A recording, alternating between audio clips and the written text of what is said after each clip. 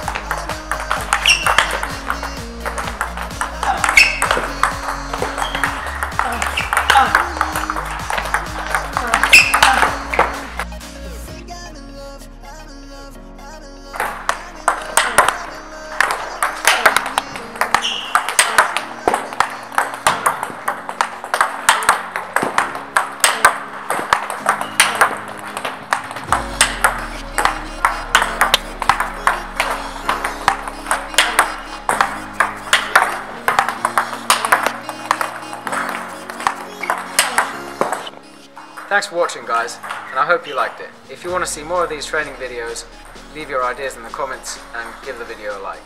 Until next time.